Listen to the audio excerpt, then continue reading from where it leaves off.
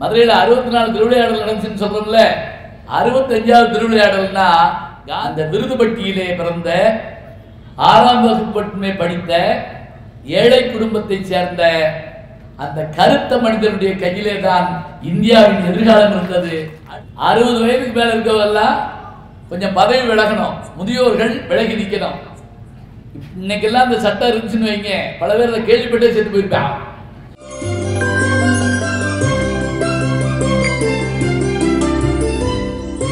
இந்த வீடியோவை உங்களுக்கு வழங்குவோர் நஞ்சில்லா மூலப்பொருட்களால் தயாரிக்கப்பட்ட பதம் இனிப்புகள். பதம் இனிப்புகளை மதுரை புத்தக கண்காட்சி சிறப்பு ஸ்டால்களில் நீங்கள் வாங்கிக் கொள்ளலாம். இன்றைக்கு ஒரு நல்ல நாள். இந்த நல்ல நாளில் நிறைய நிகழ்வுகளை நீங்கள் நிகழ்த்திக்கிட்டு இருக்கீங்க. எனக்கு கிடைச்சிருக்கக்கூடிய இந்த நேரத்துக்குள்ள பெருந்தலைவருடைய பெருமைகளை பேசுவதற்காக நான் முயல்கிறேன். முயல்கிறேன் தான் சொல்லணும். தமிழ்நாட்டில் பெருந்தலைவர் அவர்கள் ஆட்சி செய்த காலத்தில் ஆயிரத்தி தொள்ளாயிரத்தி ஐம்பத்தி நாலுலேருந்து அறுபத்தி மூணு வரைக்கும் ஒன்பது ஆண்டு காலத்தில் ஒன்பது ஆண்டு காலத்தில் ஆட்சி செய்த அந்த காலத்தில் அவர் செய்த சாதனைகள் சத்தியமாங்க முந்நூறு ஆண்டு காலத்தில் கூட யாரும் செய்ய முடியாத ஒரு சாதனை முந்நூறு ஆண்டு காலத்தில். எத்தனை அணைக்கட்டுகள் ஒன்பதுக்கும் மேற்பட்ட அணைக்கட்டுகள் எத்தனை கல்வி நிலையங்கள் எத்தனை பள்ளிக்கூடங்கள் எல்லாத்துக்கும் மேல சாப்பாடு போட்டு கல்வி சொல்லிக் கொடுக்கணும். வயிற்றுக்கு சோறிடல் வேண்டும். இங்கு வாழும் மனிதருக்கு எல்லாம் பயிற்று கல்வி பலகல்வி தந்து இந்த பாறை உயர்த்திட வேண்டும். இது பாரதி வார்த்தை. இந்த ரெண்டையும் செஞ்ச ஒரே மனுஷன் நம்முடைய காமராஜருங்க ஞாபகம் வச்சுங்க வயிற்றுக்கு சோறிட்டார் அது மட்டும் இல்லை பிறகு என்ன செய்தார் என்றால் கல்வி தந்தார். நம்ம உடம்புல மூணு பள்ளம் இருக்கு. இங்கே ஒரு பள்ளம் வயிறு. இங்கே ஒரு பள்ளம் இதயம். இங்கே ஒரு பள்ளம் மூளை. இந்த மூணு பள்ளத்தையும் எதாவது நிரப்பணும் தெரிஞ்சுக்கிட்டாலே போதும். வயிற்று பள்ளத்தை உணவால் நிரப்ப வேண்டும். இதய பள்ளத்தை அன்பால் நிரப்ப வேண்டும். மூளையில் இருக்கிற பள்ளத்தை அறிவால் நிரப்ப வேண்டும். இந்த மூன்றையும் நிரப்பி காட்டியவர் காமராஜர் அவர்கள். சோறு போட்டார் முதல்ல. எளிமையாக சொல்கிறவங்களுக்கு அவர் முதலமைச்சராக இருக்கப்ப ஒரு பள்ளிக்கூடத்துக்கு போகிறார் அவர் முதலமைச்சர்னே பல பேருக்கு தெரியாது. ஏன்னா அவ்வளோ எளிமையாக இருப்பார். முதலமைச்சர் ஆனவுடனே கேரில் ஏறி உட்கார்றாரு. அந்த சைலண்ட் சவுண்ட் கேட்குது வி வி வி வின்னு சவுண்டு கேட்குது டிரைவர் கூப்பிட்டு கேட்டாரு என்னடா என்ன சத்தம் கேட்குது அப்படின்னாரா. நீங்கள் வர்றீங்கன்னு ஊருக்குலாம் சொல்கிறோம்னு ஏழை முதல்ல அதை அமுத்து. இது கேட்டாலே அபசகனமாக இருக்கு. அமுத்து. எந்த முதலமைச்சர் சொல்லுவாங்க? யோசிச்சு பாருங்க. முன்னாடி சைரன் போட்டு போனா தான் பெருமைன்னு நினைக்கக்கூடிய இடத்துல முதல்ல அதை அமர்த்து அப்படின்னாரு. ஒரு பள்ளிக்கூடத்துக்கு போறார். சின்ன கிராமம். ஆத்தியார் பத்திரம் உட்காந்துருக்காரு மத்தியானம் இருக்கும். வாத்தியாரத்து போனோம்னே அவர் பதறி போயிட்டாரு. முதலமைச்சர் வந்திருக்காரு அப்படின்னு. என்ன ஒரு பையில கூட காணும் அப்படின்னு கேட்டார். எல்லாம் போயிட்டாங்க. எங்க போனாங்க? இந்த அங்கிட்டு போனாங்க. இவர் விடலை. யாரு? முதலமைச்சர். வேட்டியை மடிச்சுக்கிட்டு இங்க பின்னாடியே போனார். ஒரு பையன் மாடு மேய்ச்சிக்கிட்டுனா ஏன்டா பள்ளிவிட்டு கொள்ள அப்படின்னாரு. யாரு? நல்லா கவனிங்க ஒரு முதலமைச்சருக்கு ஒரு சின்ன பையனுக்கு பேச்சுவார்த்தையை பாருங்க. ஏன்டா பள்ளிக்கூடத்துக்கு கொள்ள அவனுக்கு இவர் முதலமைச்சர் தெரியாது. ஏன்னா இவர் சினிமாவில் நடிக்கல. முதலமைச்சர் தெரியாது. ஏன்டா பள்ளிக்கூடத்துக்கு கொள்ள ஒன்று அவன் கேட்டான். பள்ளிவிட்டு கொள்ள சோறு விடுவீங்களா அப்படின்னா. சோறு போட்ட வருவியாடா? இவரு விட மாட்டேங்கிறாரு. சோறு போட்டு வர்றேன். நேர சென்னைக்கு போனாருங்க எல்லா மாவட்ட ஆட்சித்தலைவர்களும் கூப்பிட்டார். உட்கார வச்சார். பிள்ளைகளுக்கு மத்தியான சாப்பாடு போடணும். என்ன ஆகும் அப்படின்னாரு. ஒரு கலெக்டர் இருந்து சொன்னாரு. கஜானா காலியாகும் அப்படின்னாரு. ஏய் உடனே இதை கேட்டார். உட்கார் இல்லை எவ்வளவு செலவாகும்? அப்ப கல்வித்துறையில பொறுப்பாளராக இருந்தவர் யார் தெரியுங்களா? நேற்று சுந்தரவடிவேலு. அவர் என்ன பண்ணாரு? கொஞ்சம் தயங்கி தயங்கி கணக்கு போட்டு பார்த்துட்டு மத்தியான சாப்பாடு போடுறதா இருந்தால் ஒரு பிள்ளைக்கு ஒரு ரூபா ஆகும் அந்த காலத்தில். ஆயிரத்தி தொள்ளாயிரத்தி ஐம்பத்தி ஏழு. ஒரு ரூபா ஆகும். அப்படியா? சரி. இப்போ இந்த படிக்காத மேத ஒரு அற்புதமான திட்டம் சொல்கிறாருங்க ஒரு ரூபாய் நம்ம தர வேண்டாம்யா. ஐம்பது பைசா அரசாங்கம் தரட்டும். இருபத்தஞ்சு பைசா உள்ளூர் பஞ்சாயத்து போட்டு தரட்டும். இருபத்தஞ்சு பைசா பெத்தானே வைப்பேன் அவன் தரட்டும். மத்தியான சாப்பாடு போடு. அந்த திட்டம் உருவானதுங்க. மதிய உணவு திட்டத்தை இந்த உலகத்துக்கே அறிமுகப்படுத்த மாதிரி அறிவு கொடுத்த பெருமை நம்முடைய பெருந்தலைவர் அவர்கள் கொண்டு கர்ம வீரர்கள் கொண்டு சோறு போட்ட மனுஷனை மறக்கப்படாது ஞாபகம் வச்சுக்கோங்க. ஒருவேளை சாப்பாடு சாப்பிட்டோம்னா போதும் மறந்துடக்கூடாது. அப்படி சாப்பாடு போட்டார். இதில் ஒருத்தர் கேள்வி கேட்டார். அது இல்லைன்னா ஐம்பது பைசா செலவு நம்மளே ஒரு ரூபாய் போட்டோன்னா போடக்கூடாது. இருபத்தஞ்சு பைசா எதுக்கு பஞ்சாயத்து போர்டு போடணும்னா அப்பதான் இந்த திட்டம் ஒழுங்காக நடக்குதான்னு சொல்லி அந்த பஞ்சாயத்து போர்டுல இருந்து ஒரு ஆள் போய் பார்த்துட்டு பார்த்துட்டு வருவார். இப்போ உங்களுக்கு ஒரு சின்ன உதாரணம் சொல்கிறேன் எங்கள் ஊரில் ஒரு தடவை கும்பாபிஷேகம் நடத்துகிறாங்க கோயில் கும்பாபிஷேகம். எப்போவுமே குடமிழுக்கு நன்னீராட்டுகள் நடத்துறதா இருந்தால் எல்லாத்தையும் பணம் வசூல் பண்ணுவாங்க. அது பண்ணணும். ராஜராஜ சோழனே பெரு தஞ்சை பெருங்கோயில் கட்டுற போது தன் கஜானாவை தவிர எல்லார் வீட்டிலேருந்து ஒரு ரூபா பணம் வேணும்னு வசூலிக்க சொன்னாராம். ஒரு பணம். ரூபாய் இல்லை அப்ப ஒரு பணம். அப்ப அவருடைய தமக்கையார் கேட்டாங்களாம் ஏன் இப்போ சொத்து இருக்குது உன் சொத்து இருக்குது? கஜானால பணம் இருக்குது எதுக்கு வீட்டுக்கு ஒரு பணம் வாங்கணும்? பாருங்க முடிஞ்ச பிறகு அந்த கோயிலை பார்க்குற ஆள் பூரா என்ன சொல்லுவான்னா இதுல ஏன் பணமும் இருக்கு அப்படிமானா இதை பார்த்துட்டு போறப்ப ஏன் பணமும் இருக்கு. அதே மாதிரி கும்பாபிஷேகம் நடந்தப்ப என்கிட்ட டிக்கெட் கொடுத்துருந்தாங்க. நூறு டிக்கெட்டு ஒரு டிக்கெட் ஒரு ரூபா. இதை விற்று கொடுங்கன்னாங்க. நான் ஒரு ஆள்கிட்ட விற்றேன் ரெண்டு ஆள்கிட்ட விற்றேன் அப்புறம் யோசிச்சு பார்த்தேன் இது எதுக்கு போயிட்டு? ஒரு ரூபா ரெண்டு ரூபாய்க்கு. நம்மளே பாக்கி ரூபாய் கொடுத்துடலாம்னு நானே தொண்ணூத்தெட்டு ரூபாய் கொடுத்துட்டேன். ஒரே ஒரு ஆளுக்கு தான் ரெண்டு டிக்கெட் கொடுத்தேங்க.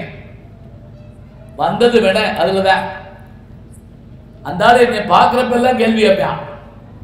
அப்புறம் அந்த படத்தை என்ன பண்ணீங்க? அப்படிமா அதை வச்சு நான் என்ன பாம்பன் பாடமா கட்டுவேன் ரெண்டு ரூபா கொடுத்துருக்கேன் அந்த ஆள். ஆனால் என்னை வா வருஷந்தோறும் பார்த்து கேட்பான். ஏன் தெரியுமா? அவன் கேட்க உரிமை உண்டு. அவன் பணம் அதுபோல இந்த குழந்தைகளுக்கு உணவிடுகிற போது அந்த உணவை தருவதற்கான விஷயத்தில் உள்ளூர் பஞ்சாயத்து பொ- பொறுப்பேற்கணும்னு சொன்ன மனிதர் யாருன்னா பெருந்தலைவர் தான். அதே போல கல்வி திட்டங்களை பற்றி சொல்றப்ப இன்னைக்கு நம்ம சொல்றோமே பிஏ படிக்கிறதுக்கு நாற்பது பேர் அறுபது பேர் சேர்க்கலாம். எம்ஏ படிக்கிறதுக்கு நாற்பது அறுபது பேர் சேர்க்கலாம். ஆனால் எம்எஸ்சி எம்பிபிஎஸ் போன்ற படிப்புகளுக்கெல்லாம் சோதனை சாலைகள் இருக்கணும்னா லேபரட்டரி இருக்கணும்னா கொஞ்சம் பேர் தான் சேர்ப்பாங்க. இப்போ எங்கள் தியாகராஜ காலத்தை எடுத்துக்கங்க. எம்எஸ்சியில் இருபது பேர் தான் சேர்க்க முடியும். ஏன் தெரியுங்களா? ஒரு ஆளுக்கு ஒரு லேப் இது கொடுக்கணும் தனியாக ஒவ்வொருத்தருக்கும் தனித்தனி டேபிள் கொடுக்கணும் தனித்தனியான கருவிகள் கொடுக்கணும். இப்போ அதனால் இருபது பேருக்கு மேலே சேர்க்க மாட்டாங்க. ஒரு நாள் காமராஜர் அவர்கள் என்ன பண்ணார்? ஒரு கல்லூரிக்கு போகிறார் இதில் எவ்வளோ பெரிய முதுகலை படிக்கிறாங்க? போஸ்ட் கிராஜுவேஷன் எவ்வளோ படிக்கிறாங்க? இவ்வளவு தான் படிக்கிறாங்க. ஏன் இவ்வளவு குறையாக சேர்க்குறீங்க? அதில் நாற்பது பேர்னா இதில் நாற்பது பேர் சேர்க்க வேண்டியதானே? இல்லையா? அதுக்கான கருவிகள்லாம் கிடையாது. அதெல்லாம் வாங்குறதுனா செலவாகும். வைக்க இடம் இல்லை. இப்போ ஒன்று யோசிச்சா இருக்கேன். அப்போ ஒன்று செய்ய இந்த பள்ளிக்கூடம் எத்தனை மணி க கல்லூரி எத்தனை மணி வரைக்கும் நடக்குது? காலையில் பத்து டு நாலு. டயத்தை மாற்று காலையில் பத்து டு ஒன்று நடக்கட்டும். அல்லது நாலு மணிக்கு மேலே சாயங்கால காலேஜ் ஆரம்பி. இதே இடம் அப்படியே இருக்கும். இதே இடத்துல இன்னொரு மாணவர் செக்ஷன் வந்து ப- வேலை பார்க்கட்டும். பார்ட் டைம் வந்து கல்வி படிக்கலாம் என்பதை அந்த இடத்திலேயே சொன்னவர் ஆறாம் கிளாஸ்க்கு மேலே படிக்காத பெருந்தலைவர் காமராஜ் அவர்கள் ஞாபகம் வச்சுக்கங்க. நம்ம சொல்றோம்னு ஏதாவது கேள்வி கேட்டால் எனக்கு எங்கங்க தெரிய போகுது? எங்க சிலபஸ்ல எங்க இருக்குன்னு கேட்குறோம் இதைத்தான் செஞ்சார். இன்னும் ஒரு விஷயத்தை முக்கியமாக சொல்கிறேன் எப்படின்னா எனக்கு சோழம் தான் சொந்த ஊர். எனக்கு ஒரு வாய்ப்பு என்ன அப்படின்னா நான் சிறுபிள்ளையாக இருந்தபோது பெருந்தலைவர் அவர்களை நான் நாலாம் கிளாஸ் படிக்கிறப்ப நான் பார்த்துருக்கேன். எங்கள் திருமங்கலத்துக்கு வந்திருக்காரு. பா எனக்கு எனக்கு ஒரு பெரிய மகிழ்ச்சி. மூணு முதல்வர்கள்ட்ட நான் விருது வாங்கியிருக்கேன். அதாவது ஆஹ், புரட்சித்தலைவர் எம்ஜிஆர் அவர்கள் அதே போல் டாக்டர் கலைஞர் அவர்கள் புரட்சித்தலைவர் அம்மா அவர்கள் மூணு பேருக்கு நான் விருது வாங்கியிருக்கேன். இந்த இப்போ இந்த குழந்தை மாதிரி நான் இருந்திருந்தேன்னா ஏதாவது ஒப்பிச்சு பெருந்தலைவர் ஐயாட்டி நான் விருது வாங்கியிருப்பேன். அப்போ எனக்கு வாய்ப்பு இல்லை. ஆனால் என்ன தெரியுங்களா? அவரை பார்க்குற வாய்ப்பு எனக்கு இருந்தது. எங்கள் திருமங்கலத்தில். அப்போ அவர் அவர் வந்த வேகமும் அவர் பேசின முறையும் அவ்வளோ அழகாக இருந்தது இந்த இப்படி சின்ன பிள்ளையா உட்காந்துருக்கோம் எங்களுக்கு புரியுது. பேச்சுன்னா என்ன தெரியுமா? எல்லாருக்கும் புரியணும். ஒரு இவரை மாதிரி ஒரு சின்ன குழந்தை மூணு வயசு இருக்கும். என்கிட்ட வந்து என்னை பார்த்து நீங்கள் தானே சுட்டி டிவியில் பொம்மையும் திருக்குறளும் பேசுறது? எனக்கு பெரிய ஆச்சரியம். ஆமாம் நீ பார்ப்பையான்னு நல்லா பார்ப்பேன் சொல்லிட்டு அதோடு நிறுத்தலைங்க. என் தம்பிக்கு உங்களை ரொம்ப பிடிக்கும். அதுக்கு மூணு வயசு. நல்லா கவனிங்க. அதுக்கு மூணு வயசு. போய் அவங்க தம்பியை கூட்டு வந்துருச்சு. அந்த பையனுக்கு ரெண்டு வயசு. அவன் வந்தவொடனே என்கிட்ட நீ நல்லா பேசுற? அப்படின்னா அந்த பையன் அன்னைக்கு தான் பேச ஆரம்பிச்சிருக்கான் என்னைய நல்லா பேசுற? அப்படின்னா எவ்வளவு மகிழ்ச்சிங்களா இந்த குழந்தைகளுக்கும் புரியும் வண்ணம் பேசுமாறு நான் தமிழ் படித்திருக்கிறேன் என்றால் அதுதான் என் தமிழுக்கு கிடைத்த பெரிய ஒரு பெரிய ஆற்றல். நான் பெற்றிருக்கக்கூடிய ஆற்றல். பெருந்தலைவர் காமராஜ் அவர்கள் அப்படி பேசுவார். அ- எதுகமோனே அடுக்கலாம் இல்லைங்க. புரியணும் புரிஞ்சா போதும். அப்ப யோசிச்சு பாருங்க. ஒரு செயலை எடுத்துக்கொண்டால் அது செய்து முடிப்பதற்கான அந்த பெருமை அந்த தன்மை. சரி இதுக்கு மேல. இவருடைய காலத்தில் கல்வி மற்ற ச உணவு இதெல்லாம் சொல்லிட்டோம். எத்தனை பொறியியல் கல்லூரி வந்தது? எத்தனை மருத்துவக் கல்லூரி வந்தது? குறிப்பா எங்கள் தியாகராசர் கல்லூரி காமராஜர் அவர்களுடைய பேரில் தாங்க வந்தது ஆயிரத்தி தொள்ளாயிரத்தி ஐம்பத்தி ஏழு. அதே போல மருத்துவக் கல்லூரிகள் பொறியியல் கல்லூரிகள் தொழில்நுட்ப கல்லூரிகள் இத்தனையும் இதுக்கு மேல டேம் வைகை டேம் கட்டினப்ப ஒரு ஆச்சரியம் நீங்க பார்த்துருக்கலாம். அப்ப பார்க்க வர்றார் காமராஜ் அவர்கள். பார்க்க வந்தா கரண்ட் இல்லை. இன்னும் கனெக்ஷன் கொடுக்காம இருக்கு. சரி பெஞ்சத்துக்கு வெளியே போடு. அதில் படுத்துக்கிறேன். முதலமைச்சர் ஞாபகம் வச்சுக்கங்க. பெஞ்சத்துக்கு வெளியே போடு. பெஞ்சத்துக்கு வெளியே போட்டாங்க சட்டை கழட்டிட்டு படுத்துட்டாரு. பார்த்தா தலைமாட்டில் ஒரு போலீஸ்கார் நின்றுட்டே இருந்திருக்காரு. இவர் எந்திரிச்சு பார்த்துருக்காரு. என்ன நிற்கிற அப்படின்னு இருக்காரு. உங்களுக்கு பாதுகாப்பாக நிற்கிறேன் இருக்கார் போலீஸ்கார் ஏயா தலைமாட்டில் துப்பாக்கி ஓட்டு நின்று அவனா தூங்குவானா? நீ போய் படு இல்லை உங்க ஏய் என்னை எவனும் சுட மாட்டானியா? ஒன்று செய்ய நீ சட்டை கழட்டி போயிட்டு பாடு ஏன் சொல்றேன்னா நான் தூங்குறேனான்னு நீ பார்த்துட்டு இருக்க. நீ முழிச்சிருக்கியா? நான் பார்த்துட்டு இருக்க. விடிய காலம் வரைக்கும் ரெண்டு பேரும் தூங்க முடியாது. முதல்ல போய் படு. காலையில் எந்திரிச்ச உடனேங்க டீ வந்தோடனே முதல்ல அந்த போலீஸ்காரருக்கு கூப்பிட்டு நீ குடிச்சியா? இந்தா குடி. இப்படிப்பட்ட மனிதர்களால் தான் லேசா மழை பெய்யுதுன்னு சொல்றோம் பார்த்தீங்களா பண்புடையார் பட்டுண்டு உலகம். அது இன்றைய மண்புக்கு மாய்வது மண் அப்படின்னு திருவள்ளுவர் சொல்றாருன்னா இப்படிப்பட்ட மனிதர்களால் மட்டுமே இவை எல்லாம் இருக்கிறது. இது கதை மாதிரி நம்ம நினைக்க கூடாதுங்க. இப்படி நிகழ்ந்திருக்குமா? இப்படி செய்ய முடியுமா? இதை யோசிச்சுட்டு இருக்கோம். அவர் பிறந்த ஊர் விருது பட்டி தான். விருது நகர்லாம் கிடையாது. சாதாரணமாக நம்ம ஊரில் தெற்கு பக்கம் அதிகமாக பட்டிகள் இருக்கும். செல்லம்பட்டி பாடிப்பட்டி அந்த பட்டி இந்த பட்டின்னு வச்சு வச்சுப்போம். அது பேர் விருது பட்டியா? அந்த விருது பட்டியினுடைய இவ- இவங்களுடைய பாட்டனார் மற்றவங்க கொஞ்சம் வசதியா இருந்தாலும் கூட நாட்டாம்கார் வீடுகளாக இருந்தாலும் இவருடைய தந்தையார் இவருடைய தாயார் ஒரு சாதாரண குடும்பம் தான் இவர் பிறந்த ஆண்டு நம்ம பார்க்குறோம். ஆயிரத்தி தொள்ளாயிரத்தி மூணு ஜூலை மாதம் பதினஞ்சாம் தேதி. இவருடைய தாயார் சிவகாமி அம்மாள் அதனுடைய பேரில் தான் பிரமாதமாக வச்சிருந்தாங்க. அவர்கள் அந்த குழந்தையை பெற்றெடுக்கிறப்ப நம்ம சொல்கிற மாதிரி நாட்டுக்கு நல்ல ந- பல நன்மைகள் கிடைப்பதற்காக அந்த குழந்தை பிறகுது எவ்வளோ எளிமை எவ்வளோ சிறப்பு.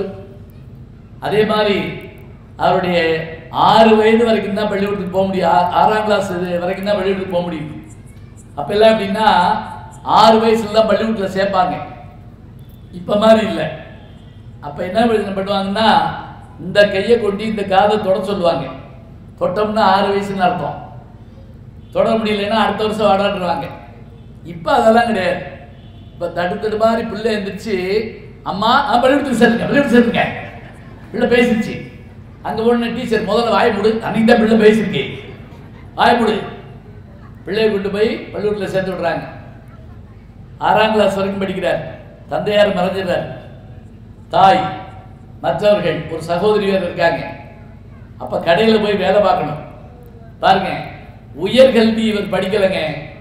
ஆனால் உயர்கல்வி எல்லாரும் படிக்க வேண்டும் என்பதற்காக கல்லூரிகளை கட்டினார் பல்கலைக்கழகங்களை கட்டினார்.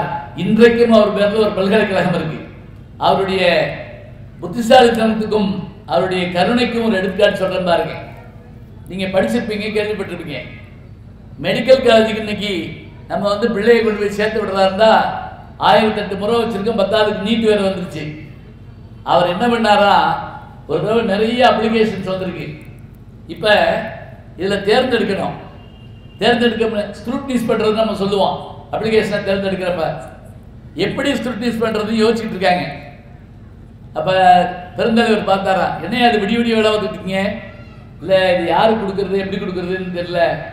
எந்த வருமான அடிப்படையிலையா எப்படி ஒட்டுமலையா கொண்டாயா? வாங்கினார். விறுவிறுன்னு பிரிச்சார். இப்படி இப்படி இப்படி இப்படி எடுத்து போட்டார். டா இதுக்கெல்லாம் கொடு இதுக்கெல்லாம் கொடுக்காத. இதெல்லாம் என்ன இதெல்லாம் என்னன்னு இவங்களால இப்ப யோசிக்க கூட முடியல. என்ன தெரியுங்களா? எந்தெந்த அப்ளிகேஷனில் அப்பா கார்டியன் அப்படிங்கிறது கீழே கையெழுத்து இல்லாமல் வெறும் கைநாட்டு மட்டும் வைக்கப்பட்டிருக்கிறதோ அந்த பிள்ளைகளாக பார்த்து தேர்ந்தெடுத்து அவர்களுக்கு மருத்துவராக படிப்பதற்கான வாய்ப்பை பெருந்தலைவர்கள் அவர்கள் ஏற்படுத்தினார் முக்கியமாக யோசிச்சு பாருங்க. முதல் தலைமுறை படிக்கட்டும். கையெழுத்து போட தெரிஞ்சிருந்தா படிச்சு குடும்பம்னு அர்த்தம். கை நாட்டு வச்சிருந்தா படிக்க தெரியாத குடும்பம் இருக்கும் அந்த படிக்க தெரியாத குடும்பத்திலிருந்து முத பிள்ளை வரட்டும். இன்னைக்கு அந்த சட்டம் இருக்கு. நான் பேராசிரியர் எனக்கு தெரியும். அதாவது படிக்காத குடும்பத்திலிருந்து ஒரு பிள்ளை வருதுன்னு சொன்னா அந்த பிள்ளைக்கு அஞ்சு மதிப்பெண் கூட கொடுக்கலாம் அப்படின்னு ஒரு முறை வச்சிருக்கிறோம். இவையெல்லாம் அந்த மனிதனுடைய சிந்தனையில் உதித்ததுங்க. பல்கலைக்கழகங்களை அவர் பார்த்ததில்லை. ஆனால் பல்கலைக்கழகங்கள் அவர் பேரில் நடக்குது. அதுதான் சிறப்பு. கலைக்களஞ்சியம் தொகுக்கப்பட்டது அவருடைய காலத்தில் தான் தமிழில் கலைக்களஞ்சியம்ங்கிற ஒரு விஷயத்தை அற்புதமாக தொகுத்து கொடுத்தார். அவருடைய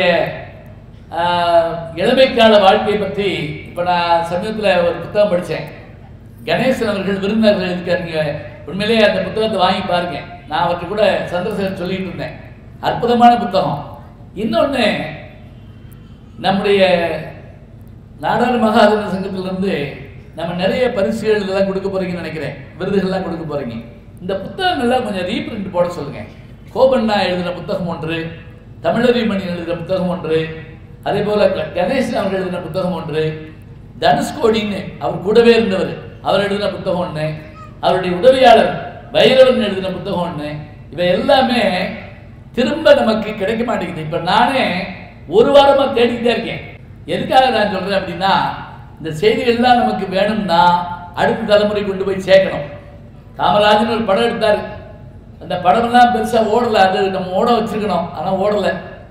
அது இப்போ ஆற்று ஃபிலிம் மாதிரி எல்லா இடத்துலையும் போட்டுட்ருக்காங்க அதை பிள்ளைகளுக்கு சொல்லணுங்க. பிள்ளைகளுக்கு வெறும் சின்ன சின்ன விஷயங்களை சொல்லிட்டு போயிடக்கூடாது. அபூர்வமான செய்திகளை சொல்லணும். இளமையில் அவருடைய வேகம் எப்படி இருந்தது? அவருடைய நண்பர்கள் ஒரு அருமையான குழு. முப்பது பேர் கொண்ட நண்பர்கள்ங்க. அவங்க ஒரு முடிவு எடுத்தா முடிவு எடுத்தாங்களா எப்படி தெரியுங்களா? சுதந்திரம் வாங்குவது வரை திருமணம் செய்து கொள்வதில்லை. அப்புறம் திருமணமே செய்து கொள்ளலை. அந்த முப்பது பேர்ல பத்து பேர் அப்படியே இருந்தாங்க. அதுல ஒருத்தர் பிறந்தது காமராஜர் அந்த பத்து பேர்ல அவர் செத்துறாரு. நான் சுதந்திரம் வரட்டும்னாரு. அப்புறம் வந்த பிறகு என்ன பண்ணாரு? எல்லாரும் கல்யாணம் ஆக வேண்டியிருக்கு. பேசாம இருப்போம் அப்படின்னு இருந்துட்டார். ஒரு முறை கூட அந்த அம்மா ரயில்ல போறப்ப பெண்கள்லாம் பேசிட்டு வந்தாங்களாம் ஆ, இந்நேரம் இருந்திருந்தா இந்த அம்மாவுக்கும் பேரம் பேத்திருப்பேன் பிறந்திருப்பேன் பேத்தி பிறந்திருப்பா. எங்க? கொஞ்சம் வாய்ப்பு இல்லை அப்படியே சொல்றாங்க. அந்த அம்மா கண்ணீர் விட்டுட்டே வர்றாங்க.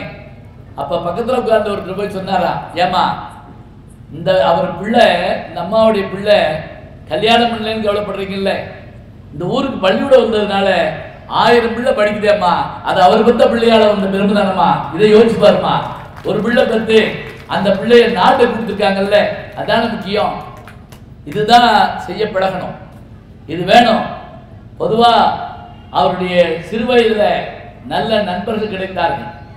அதோடு மட்டும் இல்லைங்க வீரம் விவேகம்ங்கிற விஷயத்தெல்லாம் எப்படி தெரிஞ்சுக்கிறீங்களா ஒரு முறை கோயில் யானை குளிப்பாட்டி கூப்பிட்டு வர்றாங்க. திடீர்னு அதுக்கு மதம் பிடிச்சி தெருவில் ஓடுது. இப்போ இந்த சின்ன தம்பின்னு ஒரு யானை ஓடுச்சு தெரியுமா? ஊர் ஊரா சுற்றி வந்துச்சு. சின்ன தம்பி படம் கூட அப்படி ஓடலை. அந்த யானை அப்படி ஓடிச்சு. வேற ஒன்றும் இல்லை தண்ணி சாப்பாட்டுக்குள்ளே வந்துருச்சு. இப்போ இந்த யானை வருகணும்னு எல்லாரும் ஓடுறாங்க பாகனே திகச்சு போய் நிற்கிறாப்புல அப்போ காமராஜ் அவர்கள் இளைஞராக இருந்தாருங்க. அவர் என்ன பண்ணாருங்களா உடனே நம்ம சினிமாவில் காட்டுற மாதிரி பாகுபலியில் மாதிரி அப்படி ஏறி நின்று யானை அடக்கினாருன்னா தான் நம்மால் கை தட்டுவாங்க. ஆனால் அவர் அதெல்லாம் செய்யலை. இந்த யானையை நிறுத்தக்கூடியது எதுன்னு கேட்டால் அது காலில் கட்டுற சங்கிலி. அதுக்கு பேர் தர்ம சங்கிலின்னு பேரான் யானை தாண்டாதாங்க அந்த சங்கிலியை போட்டா பின்பக்கமாக ஓடி அந்த கோயிலுக்கு நடுவில் கிடந்த அந்த சங்கிலியை எடுத்துக்கிட்டு அதே வேகமாக ஓடி வந்து என்ன பண்ணியிருக்காரு இந்த யானைக்கு முன்னாடி அந்த சங்கிலியை போட்டுக்காரு சங்கிலியை போட்டவுடனே அந்த யானை அப்படியே கையில் அந்த துதுக்கையில் எடுத்துக்கிட்டு அசையாமல் நினைச்சாங்க சமயோஜிதம் என்பது மனிதர்களை எப்படி காப்பாற்றுதுன்னு பார்க்கணும். மதம் பிடிச்ச மனுஷன் தான் கொடியவன். மதம் பிடிச்ச யானை கூட சில நேரங்களில் சொன்னபடி கேட்கும். இதை கண்டுபிடிச்சு சொன்ன ஆச்சரியம் என்னன்னா இது விஞ்ஞானம்லாம் கிடையாதுங்க. அது பாகனாலே அடக்க முடியல. அவனுக்கே மறந்து போச்சு அந்த விஷயம். அதை காப்பாத்தி காட்டுறார் அதே மாதிரி இன்னைக்கு மாதிரி காவல்துறையெல்லாம் அப்ப பிரிட்டிஷ்காரங்க காலம் அப்ப என்ன பண்ணுவாங்களா இளைஞர்களே கம்பு சுத்துறது மற்ற வேலைகள் பார்க்கறது எல்லாம் வச்சுக்கிட்டு இரவு நேரங்களில் ஊரை சுற்றி வருவாங்களாம். அப்படி ஊரை சுற்றி வர்றப்ப திருடர்கள் வந்தா அவங்களை எப்படி பிடிக்கணுங்கிற விஷயமெல்லாம் இவர்களுக்கு தெரியுமா? அதோடு மட்டும் இல்லைங்க இவர் எங்க படிச்சாருன்னு ஒரு கேள்வி கேட்போம் இல்லையா? எங்க படிச்சாருங்களா டீ உட்காந்து படிப்பாருங்க. டீக்கடைகளில் பேப்பர் படிப்பார். வரலாற்று நாயகன்னு ஒருத்தர் வருவார். அவர் பேசுறது கேட்பார். பாம்பேலிருந்து ஒருத்தர் வருவார். அவர் பேசுறது கேட்பார். சத்தியமூர்த்தி தீரன் சத்தியமூர்த்தி புதுக்கோட்டைக்காரர். அவர் தான் இவருக்கு குரு. இவருடைய உழைப்பு இவருடைய நேர்மை இவருடைய அந்த அர்ப்பணிப்பு அத்தனையும் பார்த்து இவரை காங்கிரஸ் சேர்க்கிறாங்க. காங்கிரஸ்ல இவர் எப்படி இந்த சொல்லப்போனா அடிமட்ட தொண்டராக தாங்க சேர்றார். அடிமட்ட தொண்டராக சேர்ந்து கொஞ்சம் கொஞ்சமாக மேலே வந்து முன்னுக்கு வந்து பிறகுதான் எல்லா போராட்டங்களையும் கலந்துக்கிறார். அவர் வந்து ஒன்பது முறை சிறை சென்றிருக்கிறார். பதினோரு ஆண்டுகளுக்கு மேலே சிறைச்சாலை இருந்திருக்கிறார். காந்தி அவர்களுடைய அந்த தோற்றத்தை முத முதல்ல அவர் எங்க பார்த்தாருன்னு கேட்டா மதுரைக்கு வந்த காந்தியடிகள் முதல்ல ஜிப்பால்லாம் போட்டு வந்திருக்காருங்க. அப்புறம் நம்ம ஊர் ஆளுக விவசாயம் பண்றப்ப இடுப்பு வைத்து மேல துண்டையும் பார்த்துட்டு காந்தியடிகளே என்ன பண்ணாருன்னா தன்னுடைய உடையை மாத்திக்கிட்டார். எங்க? மதுரையில வச்சு. இனிமேல் இதுதான் என் உடை அப்படின்னு சொல்லி கீழே ஒரு வேட்டி மேல ஒரு துண்டு. காந்தியடிகளையே உடை மாற்ற வைத்த இடம் மதுரை தான் மதுரையில அறுபத்தி நாலு திருவிளையாடல் நடந்துச்சுன்னு சொல்றோம்ல அறுபத்தஞ்சாவது திருவிளையாடல்னா காந்தியடிகளையே அவர் எங்க படிச்சவரு? லண்டன்ல படிச்சவரு. ஆப்பிரிக்கால வேலை பார்த்தவர் ஆப்பிரிக்கால வக்கீலா இருந்தவர். அப்படிப்பட்டவரையே அப்படி உருமாற்றி காட்டிய ஒரு பெருமை மதுரை மாநகருக்கு உண்டு. அவர் அந்த தோற்றத்தாங்க முதல்ல பார்க்குறாரு. உப்பு சத்தியாகிரகமா கூட போவார். சண்டி யாத்திரையா கூட நடத்தி காட்டுவார்.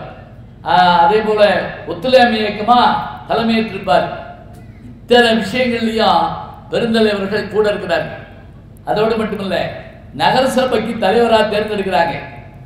அப்ப ஜெயிலில் இருக்காரு. இந்த படுத்துக்கொண்டே ஜெயிப்பேன்னு அவர் சொல்லுவாங்க. அந்த பெருமை அவருக்கு தான் உண்டு. காலில் அடிபட்டு இருந்தது அந்த நேரம். அதே மாதிரி அங்கே ஜெயிலிருந்து வந்தாருங்க. வந்த உடனே நகரசபை தலைவராக பதவியேற்றாரு ஒரே ஒரு நாள் உட்கார்ந்துருந்தார். ஒரு நாள் முதல்வர்னு கேள்விப்படுறோம்ல. அது மாதிரி ஒரே ஒரு நாள் உட்கார்ந்தார். உட்கார்ந்துட்டு என்ன செஞ்சாரு தெரியுமா? நான் பொது வேலை பார்க்குற ஆள். ஊரெல்லாம் சுற்றுறவேன் இங்கே உட்காந்து வேலை பார்த்துட்டு இருக்க முடியாது. அப்படின்னு சொல்லிட்டு சொல்லி முடிச்சுட்டு உடனே ரிசைன் பண்ணிட்டு போயிட்டாருங்க. யாராவது யோசிப்போமா? நான் பாடுபட்டதெல்லாம் ஒரு வழியா கிடைச்சிருச்சியா? அப்படிதான் நம்ம நினைப்போம். ஆனா ஒரே நாளில் அந்த பதவியை ரிசைன் பண்ணார். இதோட விட்டுல ஐம்பத்தி நாலுல முதலமைச்சரா வந்த அவரு அறுபத்தி மூணுல ஒரு திட்டம் கொண்டு வர்றாரு. கே பிளான் அதுக்கு பேரு. அப்படின்னா என்ன தெரியுங்களா? காமராஜர் பிளான் அது என்ன அர்த்தம்? அறுபது வயதுக்கு மேல இருக்கவெல்லாம் கொஞ்சம் பதவி விலகணும். முதியோர்கள் விலகி நிற்கணும் இன்னைக்கெல்லாம் அந்த சட்டம் இருந்துச்சுன்னு வைங்க. பல பேர் அதை கேள்விப்பட்டே செத்து போயிருப்பான் இப்படி ஒரு சட்டம் வரப்போகுதுன்னு தெரிஞ்சு வச்சுக்கோங்க. அவ்வளோதான் முடிஞ்சு வச்சு சொன்னதோடு மட்டும் இல்லைங்க. செஞ்சு காட்டினார். முதல்ல முதலமைச்சர் பதவியாக இருந்த தன்னுடைய பதவியை ராஜினாமா செஞ்சார். யாராவது செய்வார்களா? நான் நான் என்னுடைய முதல் பத இப்போ முதல்ல ஞாபகம் வச்சுக்கோங்க. ஒருத்தர் ஒரு வேலையை செய்யணும்னா முதல்ல தான் செஞ்சு காட்டணுங்க. ராமகிருஷ்ண பரமாம்சத்தை விவேகானந்தருடைய குரு ஒரு அம்மா பெரியம்மா பாட்டி பிள்ளையை கூட்டு வந்துச்சு பேரனை கூட்டு வந்துச்சு. ஐயா இந்த பையன் விடாமல் இனிப்பு சாப்பிட்டுட்டே இருக்கான் லட்டு. இப்போ நம்ம பிள்ளைய சா- சாக்லேட் திங்குதுல்ல அது மாதிரி. விடாமல் இனிப்பு தின்னுக்கிட்டே இருக்கான். நீங்கள் கொஞ்சம் அவனுக்கு சொல்லி வைங்க. அவர் அப்ப உடனே பார்த்தாரு ஒரு பத்து நாள் கழிச்சு வாங்கம்மா அப்படின்னு இருக்காரு. பத்து நாள் கழிச்சு அந்த அம்மா அதே பேரன் கூட்டு வந்திருக்கு. உடனே அவர் சொன்னார் டேய் இனிமேல் இனிப்பு திங்காத அப்படின்னு இருக்காரு. போயிட்டு வாங்க. இந்த அம்மா கழிச்சு இதுக்கு எதுக்கியா பத்து நாள்? இதை வந்தனுக்கே சொல்லிக்கப்படாதா? அதுக்கு அவர் சொன்னார் அது இல்லைம்மா நானும் நல்லா இனிப்பு திம்பேன். நான் இனிப்பு தின்னுக்கிட்டு இந்த பையனுக்கு சொல்லக்கூடாது. இந்த பத்து நாளாக இவனுக்கு இனிப்பு திங்கக்கூடாதுங்கிறத சொல்கிறதுக்காக நான் இனிப்பே தொடாமல் இருந்தேனம்மா. நான் தொடாமல் இருந்தால் தான் அடுத்தவனுக்கு நான் என்ன செய்ய முடியும்? அறிவுரை சொல்ல முடியும். இது நபிகள் நாயகத்தினுடைய வரலாற்றில் இதை பற்றி சொல்லுவாங்க. யாருக்காவது அறிவுரை சொல்வதாக இருந்தால் முதலில் நாம் என்ன செய்யணும்? அதை கடைபிடிக்கணும் வாழ்க்கையும் வார்த்தையும் ஒன்றாக உள்ளவர்களால் மட்டும்தாங்க ஜெயிக்க முடியும். இன்னொன்று அவருக்கு ரொம்ப எளிமையான மனிதனுக்கு ஒரு உதாரணம் நேரு அவர்கள் சென்னைக்கு வந்திருக்காரு. ஒரு இதில் தங்கியிருக்காரு. அவரை வரவேற்கிறாங்க எல்லாரும். காமராஜ் அவரும் போய் வரவேற்கிறாரு. நேரு தங்கின அதே வீட்டில் இப்போ தங்கியிருக்காரு. ராத்திரி திடீர்னு எந்திரிச்சார் நேரு. என்ன பெரும் சத்தம் கேட்குது ஏதோ கர்ணகடூரமான சத்தமாக இருக்கே. என்னன்னு வெளியே வந்து பார்த்தா புரோட்ட சத்தம். யாரு? நம்ம பெருந்தலைவர் தான். நேரு உள்ள அவர் கூப்பிட்டாரு. இங்க முதல்ல இவர் அங்கே போய் படிக்க சொல்லு. இல்லைன்னா என்னை கொண்டு போய் கடற்கரையில் போட்டுரு. நான் பாட்டு நிம்மதியாக தூங்குறேன். என்ன தெரியுங்களா? தன்னை மறந்த தூக்கம் வரணும். அதுதான் உண்மையான படுத்தா தூங்கிருக்குங்க அவன் தான் மனுஷன். சில பேர் விடிய கிழமை வரைக்கும் உண்டுகிட்டே இருப்பாங்க பார்த்துருக்கீங்களா? படுத்த உடனே தூக்கம் வரும். முதலமைச்சர் பதவியை நான் ரிசைன் பண்ணுறேன்னு சொல்லிட்டு சொன்ன உடனே நேருக்கு கூப்பிட்டு சொன்னாராம் அப்போ நீங்கள் அகில இந்திய காங்கிரஸினுடைய தலைவராக பொறுப்பேற்றுக்கணும்? பதவி வேணாம்னு தானே நான் வந்தேன். இதாங்க உண்மை. பாரத தேசத்தினுடைய பெருமை என்ன தெரியுமா? அண்ணனாகிய ராமன் பதவி ஏற்க போனபோது அந்த அம்மா சொல்கிறா யாரு? கைகை பதவி உனக்கு இல்லை உன் தம்பிக்கு. ஆழி சூழ் உலகமெல்லாம் பரதனை ஆள. நீ போய் தாளிரும் சடைகள் தாங்கி தாங்கரும் தவம் மேற்கொண்டு பூழிவன் காணம் நன்னி புண்ணிய நதிகள் ஆடி ஏழிரண்டாண்டில் வா என்று இயம்பினன் அரசன் என்றான்னு சொன்ன உடனே கைகை சின்னமாதான் சொன்ன உடனே ஒரு கவலையும் படலைங்க. அப்படியா?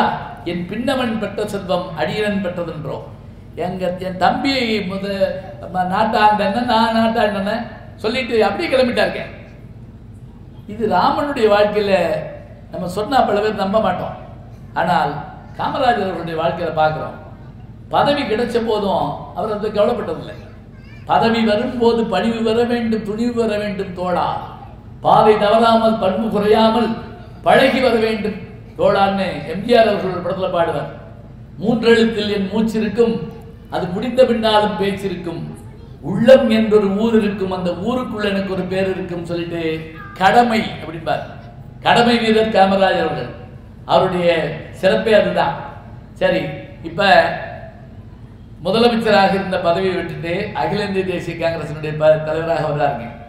நான் சொன்னேன் கல்விக்கு செய்ய உதவி உதவினார் பல்கலைக்கழகத்தை உருவாக்கினார் தமிழுக்கு ஏற்பாடு செய்தார் நீர்மின் திட்டங்கள் இதை எல்லாத்தையும் காட்டிலும் பாரத மிகுமின் திட்டம் நம்ம சொல்கிறோம்ல பிஹெச்எல் பெல் சொல்கிறோம்ல அதை உருவாக்குறதுக்கு இந்தியாவில் எங்கே பண்ணலான்னு பார்த்துட்டு இங்கே தமிழ்நாட்டில் பண்ண முடியுமான்னு பார்த்து சுற்றிட்டு பண்ண முடியாதுன்னு ஒரு குரூப் வந்து சொல்லுது. காமராஜர் அவர்கள்ட்ட ஏன் பண்ண முடியாது அப்படின்னு கேட்டாராம். ஆறு ஓடணும் ஏர்போர்ட் பக்கத்தில் இருக்கணும் தண்டவாளம் அருகில் இருக்கணும் இதெல்லாம் இருக்கிற மாதிரியான ஒரு ஊர் தமிழ்நாட்டில் இல்லை அப்படின்னாங்களாம் காமராஜர் சொன்னாராம் இது எல்லாம் இருக்கிற ஒரு ஊர் இருக்கு.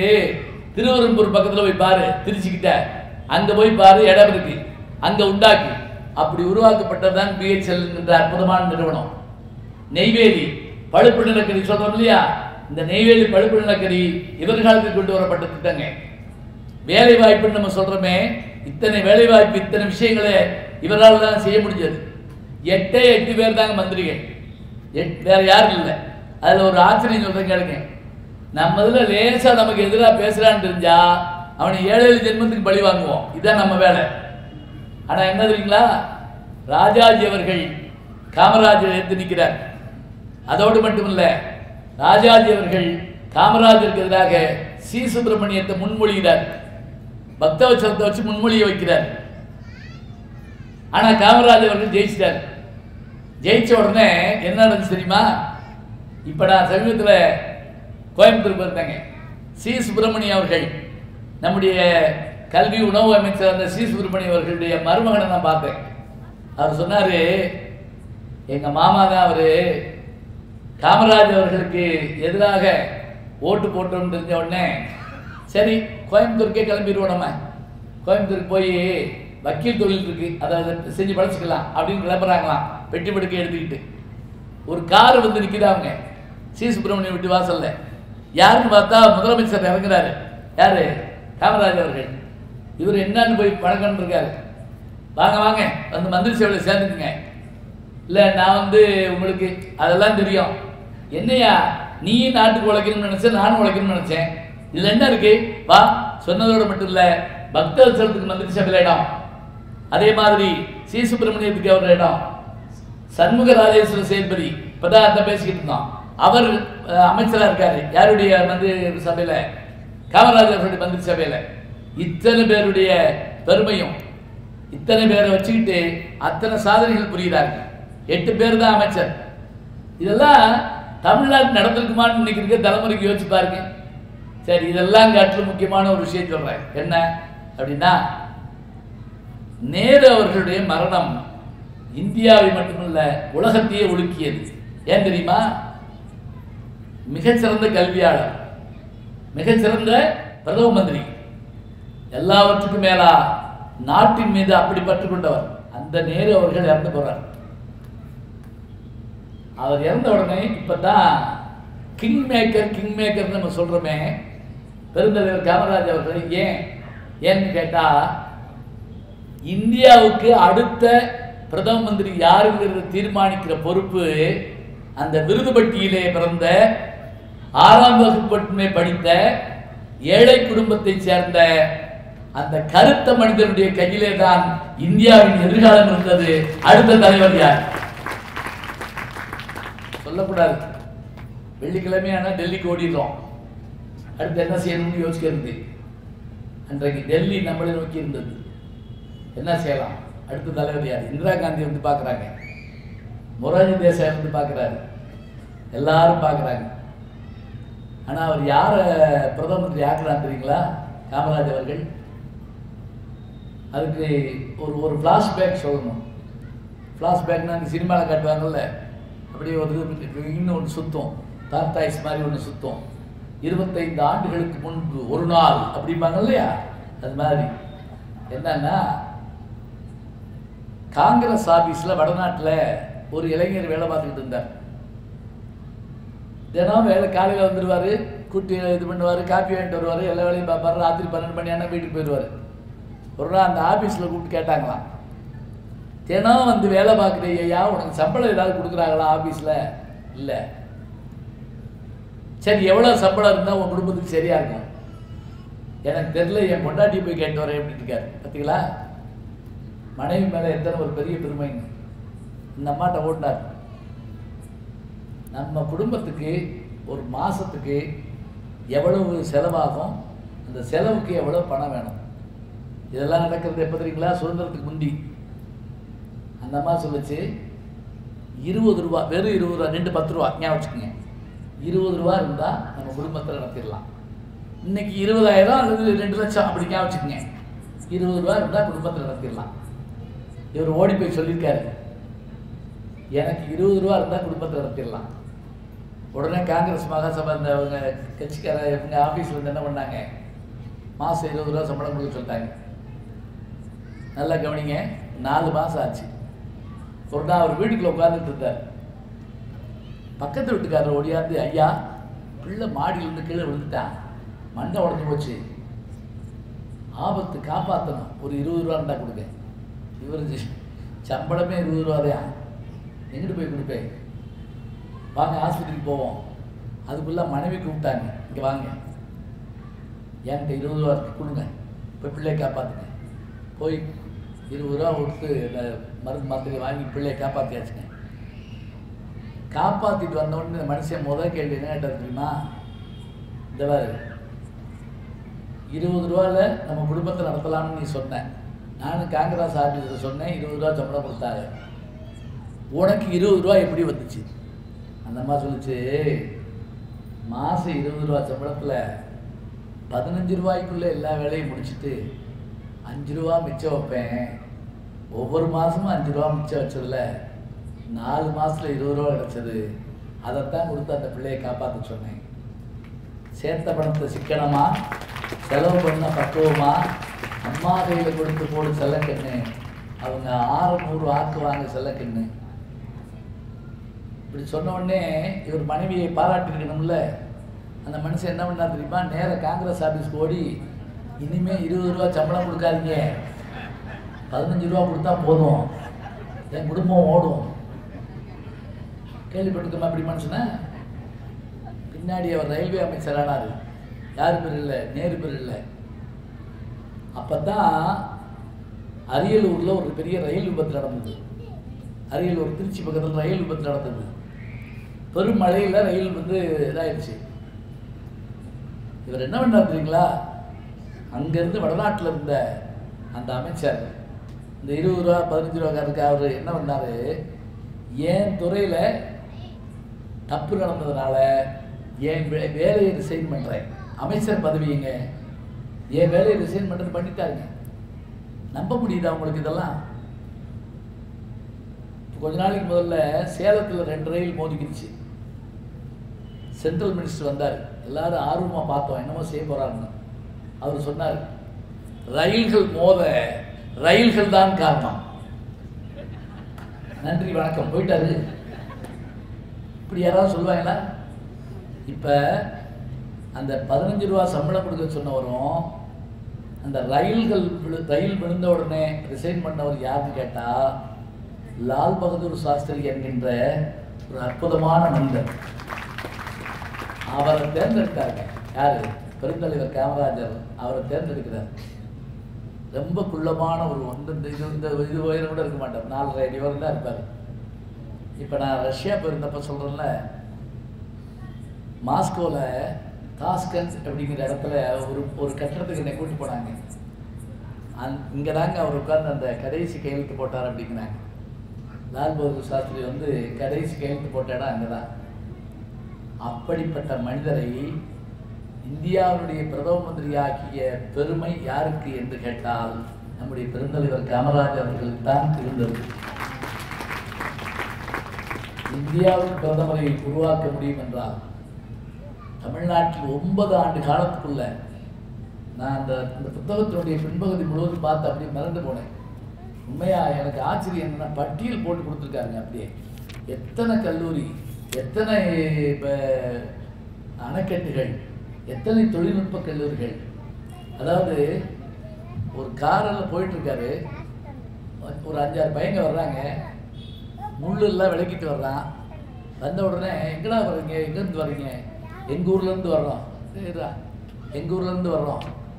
எங்கே வர்றீங்க பள்ளிக்கூடத்துக்கு போகிறோம் எத்தனை மைல்? மூணு மைல். மூணு மைல் சொல்கிறிய மழை பெஞ்சானே செய்வ? பள்ளிக்கூடத்துக்கு வரமாட்டோம். உடனே பக்கத்தில் இருந்த அதிகாரத்தை கூப்பிட்டு இந்த இடத்துல ஒரு ஹாஸ்டல் கட்ட சொல்லியா? இந்த பையன் இங்கே இங்கே இங்கே இங்கே தங்கி படிக்கட்டும். அந்த ஹாஸ்டலில் தங்கி படித்த ஒருத்தரை நான் பார்த்தேங்க அவர் சொன்னார் அந்த ஹாஸ்டல் மட்டும் காமராஜர் அவர்கள் நிறுவவில்லை என்று சொன்னால் நான் மாவட்ட கலெக்டராக இருக்க முடியாது என்றால் எத்தனை வீட்டில் விளக்கறிவதற்காக ஒரு மனிதன் முயன்றிருக்கிறார்? இருந்தாலும் மறைந்தாலும் பேர் சொல்ல வேண்டும். இவர் போல யார் என்று ஊர் சொல்ல வேண்டும். மனிதர்கள் சாதாரணமாக வந்து சாதாரணமாக செத்து போகிறோம் நமக்கான கவலைகள் பெரும்பாலும் என்ன கவலையாக இருக்கு? பாதி கவலை இப்போ நீங்கள் உட்காந்துருக்கோம் நீங்கள் ஞாயிற்றுக்கிழமை நல்ல வேலை சீரியல் கிடையாது. இல்லைன்னா இவ்வளோ பரபரப்பாக இருப்பீங்க நீங்கள் போச்சு அவன் கதி என்னவோ அவள் யாரோட போயிட்டாலோ இந்த குடும்பம் என்னாச்சோ அந்த பிள்ளை யார் வளர்க்குறாங்களோ நம்ம வீட்டு பிள்ளையை பற்றி நம்ம கவலை இல்லை. கவலைகள் சாதாரணமாயிடுச்சு சின்ன சின்ன கவலைகள். ஈனக்கவலைகள் நாம் பாரதி கவலை இல்லாத மனிதன் படம் எடுக்கிறார் கலாசம் கவலைகள் கிடக்கட்டு மறந்து விடு காரியம் நடக்கட்டும் துணிந்து விடுனாங்க நமக்குள்ள சிறு சிறு விஷயங்கள் எல்லாம் சண்டை வரும் கோபம் வரும் எல்லாம் வரத்தாங்க செய்யும். ஆனால் நாடு என்று வருகிற போது சில மனிதர்களை நாம் தேடி பார்க்கிறோம். தான் வாழுகிற காலத்தில் தன்னையும் தன்னை சார்ந்த இடத்தையும் தன்னை சார்ந்த மனிதர்களையும் உயர்த்த வேண்டும். தன் இனத்தை முன்னுக்கு கொண்டு வர வேண்டும். திருவள்ளுவர் தான் சொல்லுவார். குடி செய்வல் என்னும் ஒருவருக்கு தெய்வம் மனிதத்தை தான் முந்துரும். அப்படின்னா என்ன அர்த்தம் தெரியுமா? தன் இனத்தை தன் சமுதாயத்தை தான் சார்ந்த மனிதகுலத்தை முன்னேற்ற வேண்டும் என்று யார் நினைக்கிறார்களோ அவர்களுக்கு தெய்வம் வேட்டி வந்தி வெட்டிட்டு ஓடி வந்து துணை நிற்குவாங்க அப்படிப்பட்ட பெருமை பெருந்தலைவர் காமராஜ் அவர்களுக்கு உண்டு. வாழ்ந்த காலம் தன்னுடைய 75 வயதுக்குள்ள. இதுல இன்னொரு ஆச்சரியம் தெரியுங்களா? இத்தனை செஞ்சு இன்னைக்கு பேசிக்கிட்டு இருக்குமே இந்த மனிதர் சொந்த பூமியில தோத்து போனாங்க அவருக்காக ஓட்டு கேட்டு போனவர்கள் ஒருத்தர் பெரியார் த- தந்தை பெரியார். தந்தை பெரியார் உட்கார்ந்துருக்காரு. அஞ்சாறு பேர் கத்திக்கிட்டே போறான் காமராஜ் ஒழிக அப்படின்னு கேட்டுட்டு போறான் பெரியார் கூப்பிட்டாரு காடா வாடா அப்படின்னாரு. என்ன ஒழிக? உன்னை படிக்க வச்சது உங்க அப்பன் நினைச்சியா? காமராஜர் கட்டின பள்ளியூட்டில் படிச்சுட்டா நீ? உங்க அப்பன் படம் கட்டல உங்க அப்பன் ஜோர் போடல அவர் கட்டின பள்ளிக்கூட்டில் நீ நீ உனக்கு உனக்கு முதல்ல கல்வி இருந்த அப்படி கத்தாத. போ. சொன்னவர் தந்தை பெரியார். ஏன் தெரியுங்களா? இப்படிப்பட்ட மனுஷன் கிடைக்க மாட்டான். பார்க்கணும். பிறகு நாகர்கோவிலில் வந்து பாராளுமன்ற தொகுதியில் ஜெயிக்கிறார். கேள்வி கேட்குறாங்க என்னங்க நீங்க தோத்து போயிட்டீங்களா அப்படிங்கிறாங்க. அப்ப சொன்னார் அதான் ஜனநாயகம். யார் வேணாலும் ஜெயிக்கணும். யார் வேணாலும் தோக்கணும். அந்த ஜனநாயகத்தின் மீது நமக்கு நம்பிக்கை வர வேண்டும். வெற்றியும் தோல்வியும் உள்ள மனித வாழ்க்கையை நிர்ணயிப்பது. எது என்று கேட்டால் ஆற்றல். அதுவும் அவருடைய மரணம் பார்த்தீங்கன்னா அவர் உதவியாளர் சொல்றாராம் சரி. அந்த விளக்கு அணைச்சிரு நான் போய் படுக்கிறேன். சொல்றாருங்க. மறுநாள் காலையில் எழுந்திருக்கல அத ரொம்ப அழகா சொல்லுவாங்க. மரணம் என்பது எப்படி இருக்குன்னு தெரியுமா? வாழ்கிற காலத்துல நமக்கு கிடைக்கிற பெருமை மாறிய மரணத்தின் போது கிடைக்க வேண்டும். புறந்தார்கள் நீர் மல்க சாகிப்பின் சாக்காடு இறந்து கோட்டக்க துடைத்து. மகாபாரத கதையில ஒரு ஒரு விஷயம் சொல்லி முடிச்சிடுறேன். மகாபாரத கதையில பதினெட்டு நாள் யுத்தம் நடந்தது. பதினேழாவது நாள் யுத்தத்தில் மட்டும்தான் ஒருத்தன் செத்தப்ப ரெண்டு பக்கத்து ஆளு சேர்ந்து அழுதாங்க இந்த ஒருத்தன் யார் தெரியுமா? பாண்டவர்களின் மூத்தவனாக குந்தியின் முதல் மகனாக பிறந்து துரியோதனால் ஆதரிக்கப்பட்டு கார்த்திகைக்கு பிறகு மழையும் இல்லை கர்ணனுக்கு பிறகு கொடையும் இல்லை என்று சொல்லி கொடை கொடுத்தான் அந்த வேந்தனாகிய கொடைவள்ளல் கர்ணன். தன்னை கொடுப்பான் தன் உயிரை தான் கொடுப்பான் தயாநிதி. அப்படிப்பட்ட கர்ணன் இறந்த அன்னைக்கு தாங்க ரெண்டு பக்கத்து படையும் சேர்ந்து அழுது. இதுபோல காமராஜர் அவர்களுடைய அந்த மரணத்தை அவர் நினைச்ச உடனே இந்த தமிழ்நாடு மட்டுமல்ல உலகமே அழுது. இன்னைக்கும் கூட யார் உதாரணம் சொல்றதா இருந்தாலும் பெருந்தலைவருடைய அந்த ஒரு ஒரு ஒரு விஷயத்தை தாண்டிட்டு போய் வரலாறு எழுத முடியாது. அத்தகைய பெருமை. இந்த தலைமுறை இன்றைக்கு படித்திருக்கிறது என்று சொன்னால் இந்த தலைமுறைக்கு வழிகாட்டியவர் வித்திட்டவர் உணவு கொடுத்தவர். நான் தான் சின்ன பிள்ளைகள அந்த இது வாங்கி சாப்பிட்ருக்கேன் இது பால் பவுடர் பால் ஒன்று கொடுப்பாங்க. அமெரிக்காலேருந்து வரும். அதே மாதிரி இந்த சோழ ரவை ஒன்று இருக்கும். அது ஒரு ஆச்சரியமாக இருக்கும். பஞ்சகாலம் போல் இருந்தாலும் கூட அந்த காலத்தில் உணவு தர வேண்டும் என்று உணவை தந்தவர் உணர்வை தந்தவர் உறவை தந்தவர். பெருந்தலைவருடைய புகழை உண்மையிலே ஒரு மணி நேரத்தில் சொல்றது கடினம் தான் அதனால் அவருடைய மரண காலம் ஆயிரத்தி தொள்ளாயிரத்தி எழுபத்தி அஞ்சில் அவர் மரணமடைகிறார் நூற்றி பதினேழாவது ஆண்டு அவருடைய சிறப்பு. நூற்றி இருபத்தஞ்சாவது ஆண்டு மிகச்சிறப்பாக கொண்டாடப்பட வேண்டும். ஏன்னா சமீபத்தில் விவேகானந்தருடைய நூற்றி ஐம்பதாவது ஜெயந்தி கொண்டாடப்பட்டது.